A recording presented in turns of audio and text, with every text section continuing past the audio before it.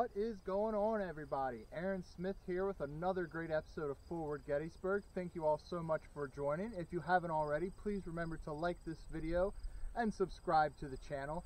I'm coming to you from behind the Klingel Barn. Um, here at the Wilcox Brigade marker here on Sickles Avenue. And if you guessed that we're talking about Wilcox, well, you're partially right. We're also going to talk about the brave actions of the 1st Minnesota.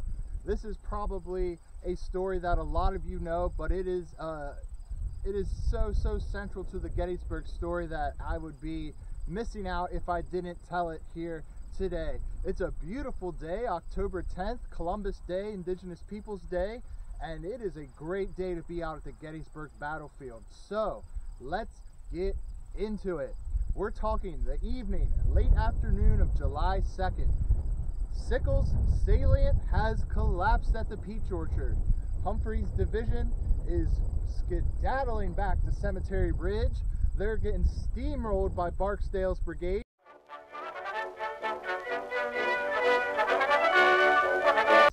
And we have Wilcox's brigade taking this position on the Emmitsburg Road, driving this way. The 3rd Corps of the Army of the Potomac is in retreat. And pursuing them is going to be Barksdale's brigade, of course. They're going to end up over at the Trostle Farm. They're going to get checked by the Harper's Ferry cowards, if you will. Um, that brigade is going to check them there. And we're going to have Wilcox's brigade. Wilcox's brigade is going to be coming across the Emmitsburg Road. And they're going to end up in that little stretch of woods over there. That's where Plum Run is running. Of course, we know Plum Run um, running from there to the Valley of Death, there in between Houck's Ridge, Devil's Den, and the Round Tops. Either way, Wilcox's brigade, they're going to um, come up there, and we call that the Trostle Woodlot. Um, and they're going to see, once they come past that Emmitsburg Road, they're going to take some Union guns there, and they're going to see a gap in the Union line. Of course, we know General Dan Sickles, on the afternoon of July 2nd, moved his entire 3rd Corps forward about three quarters of a mile.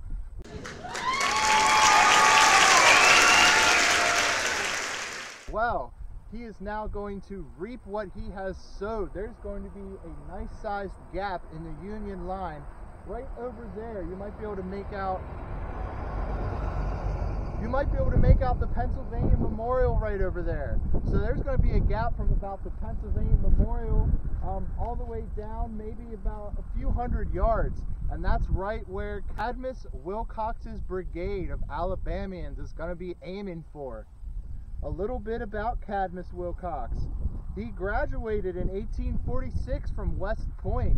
His classmates are going to include greats such as Stonewall Jackson and George McClellan. He's going to go on to fight in Mexico. He will fight at the Battle of Chapultepec. Um, and he is actually going to get promoted due to his bravery at the Battle of Chapultepec. He's going to serve then as an assistant instructor of military tactics at West Point from 1852 to 1857. He's going to retire due to some personal illness.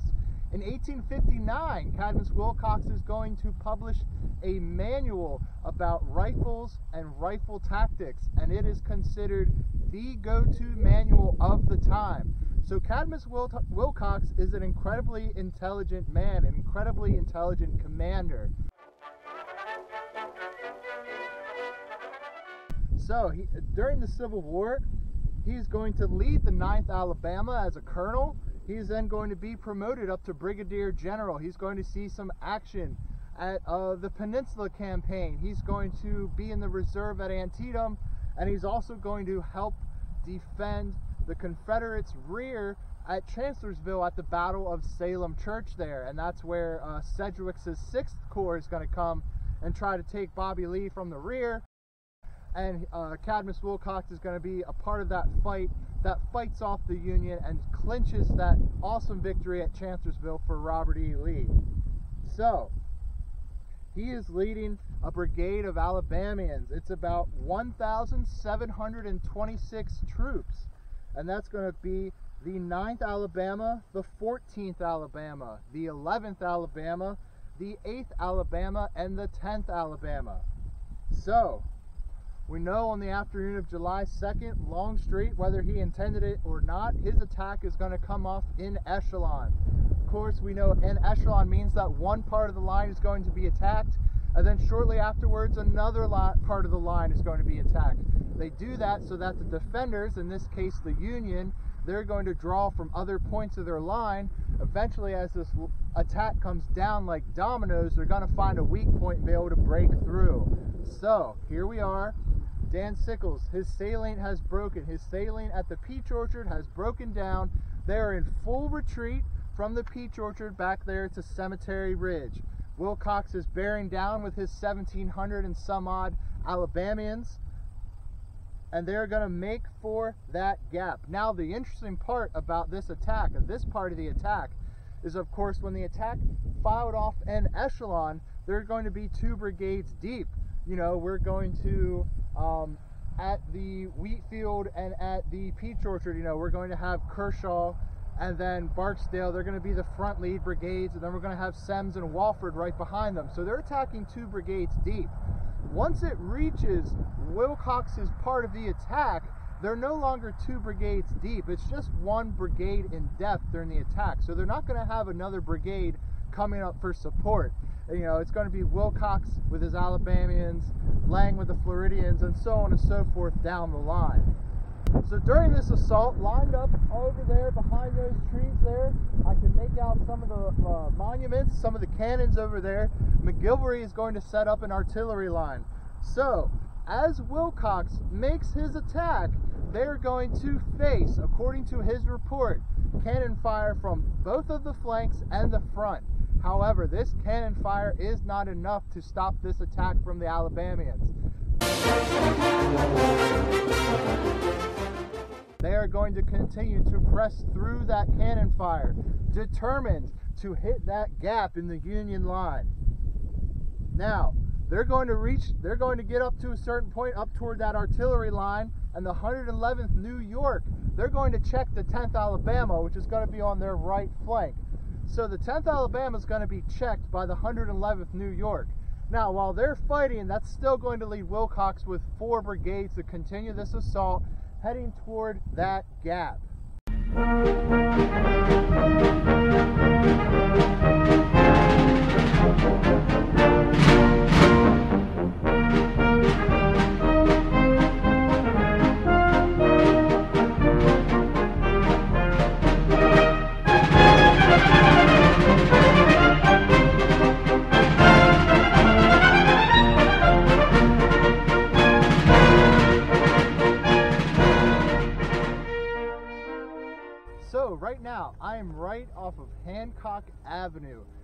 Um, just a little bit to the west of the First Minnesota Monument, one of the coolest monuments out here on the Gettysburg battlefield.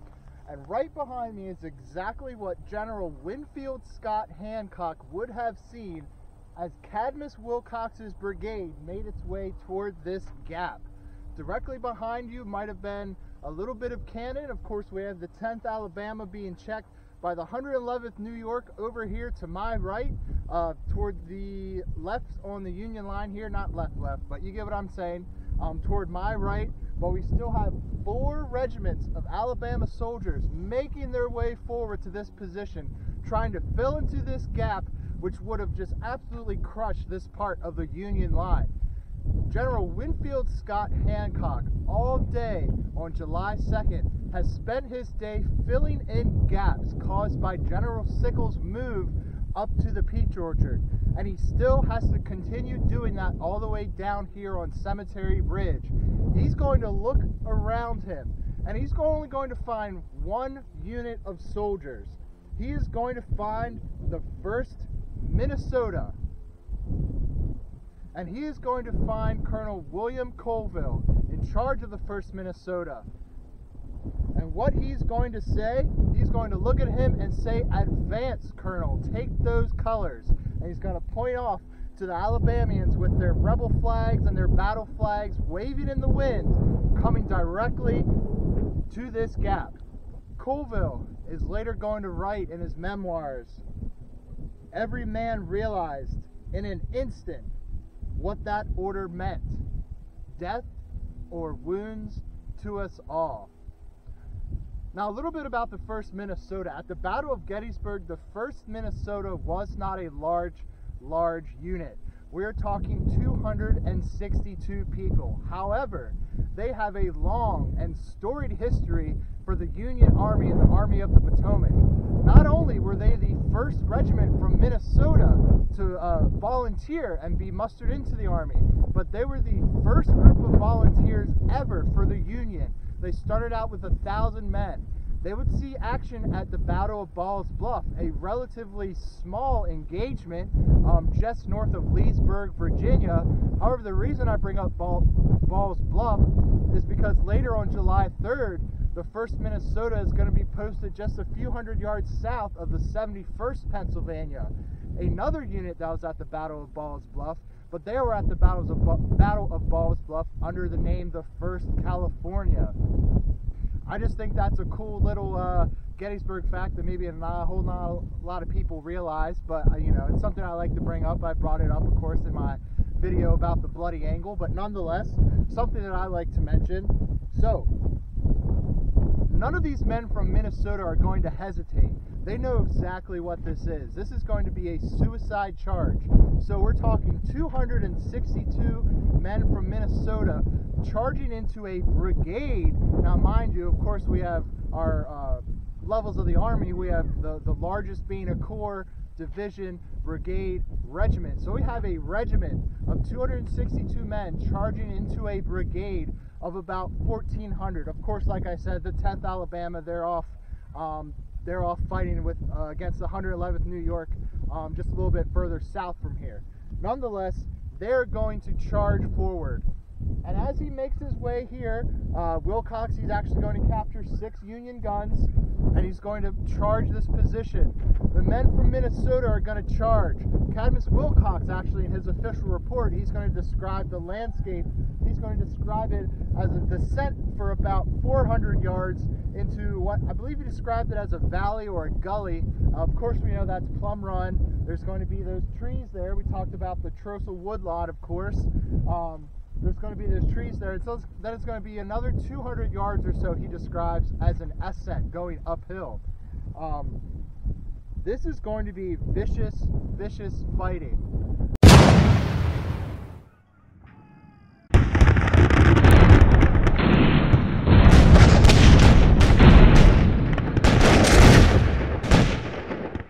Soda, they're going to their charge forward, their flag is going to be dropped five times. Their color bearer is going to be shot five times. And five times those colors are going to be picked up and charged forward. As, as soon as they hit Wilcox's brigade, they lose any semblance of, of uh, organization. Um, it's going to be described as scattered pockets of men fighting. And this fighting is going to be intense these Minnesotans, they realize the sacrifice, they realize this is a suicide mission, but they are giving it their all. They are fighting with every every inch of heart that they have.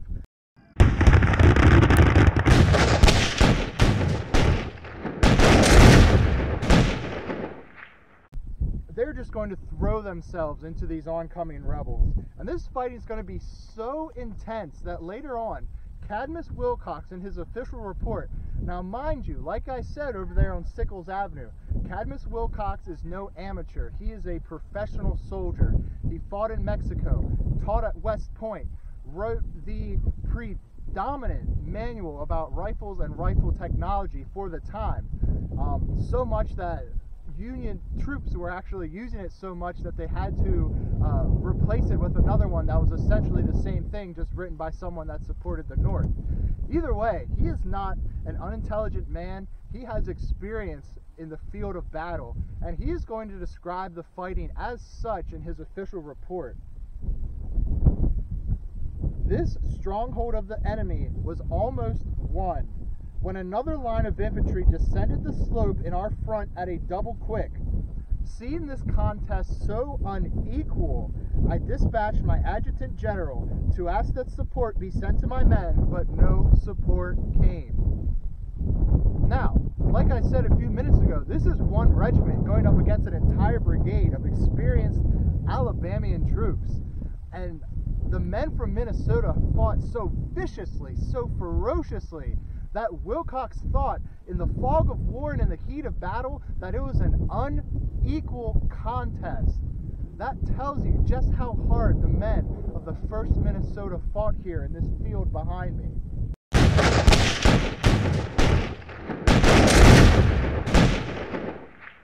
Eventually, Wilcox's charge with his four brigades is going to be checked. And seeing that he has no support, like we said earlier, all the other attacks up to this point in the Confederate line was supported by two brigades. Uh, now we're only talking about one brigade deep, a one brigade deep line moving forward. So realizing that his advance was no longer supported, the men of the 1st Minnesota were bearing down on him, attacking him, um, so much that he thought it was an unequal contest. Plus, we have cannon going off on either of his flanks. He's going to be forced to fall back. And he's going to fall back to a position somewhere on the Emmitsburg Pike, which is just beyond these woods here. And that's where he's going to bivouac the night of July 3rd. However, however, as valorous and brave as they were, the 1st Minnesota they are going to suffer terrible, terrible casualties. Of the 262 men that made the charge, 70 will die on this field behind me. Another 145 are going to be wounded, captured, or missing. Of the 262 men that made that brave charge, 215 would not go home or would go home with visible injuries. That is a casualty rate of 82%. 82% they will suffer. That is mind blowing. For that is just an astronomically high casualty rate for the Civil War. Um, for any war, for any military action.